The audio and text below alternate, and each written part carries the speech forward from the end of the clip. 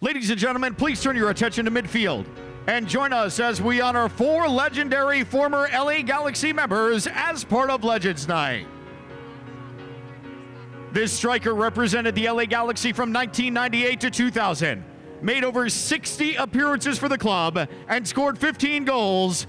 Ladies and gentlemen, Clint Mathis. This LA Galaxy forward scored over 60 goals in just three seasons in Los Angeles. In 2002, he scored the legendary game winning goal in the 113th minute of the 2002 MLS Cup to give the LA Galaxy a 1 0 win over the New England Revolution and their first ever league title. El Pescadito Carlos Ruiz.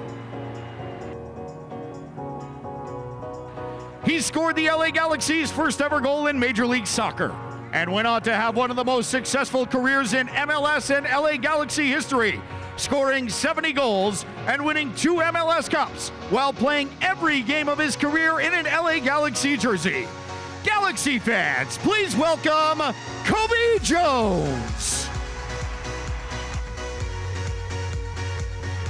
The all time leader and goals and assists for the United States.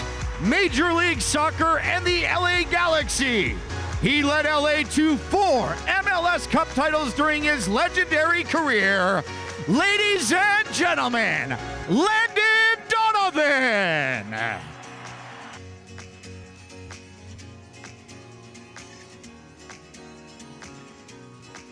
Also part of the fabric of this club and legends in their own right.